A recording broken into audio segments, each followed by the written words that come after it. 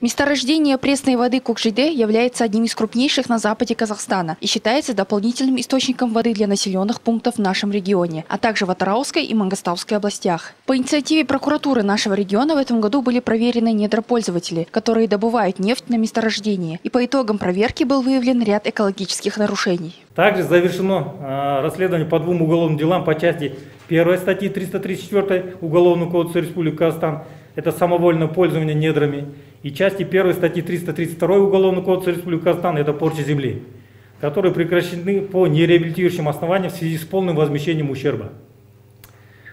Между тем, по нашим мерам, Министерством энергетики в отношении АО «Автюбе э, Мунайгаз», АО «КМК Мунай» и «Адаойл» э, начата процедура прекращения работ на песках и в пределах границ подземных вод месторождения Кукжиде. Ситуация находится на контроле прокуратуры области. По актам прокурорского надзора было наложено 170 штрафов на сумму свыше 200 миллионов тенге и предъявлен ущерб в размере 7 миллиардов тенге. Как добавились сегодня в прокуратуре, по данным Министерства энергетики Республики Казахстан, процедура прекращения работ на песках месторождения Кокжиде начата в отношении АО «СНПС» Актубе Мунайгаз, АО «КМК Мунай» и ТО фирма «Ада Ойл». Тамирис Жумабаева, Алексей Юразов, программа «Факт».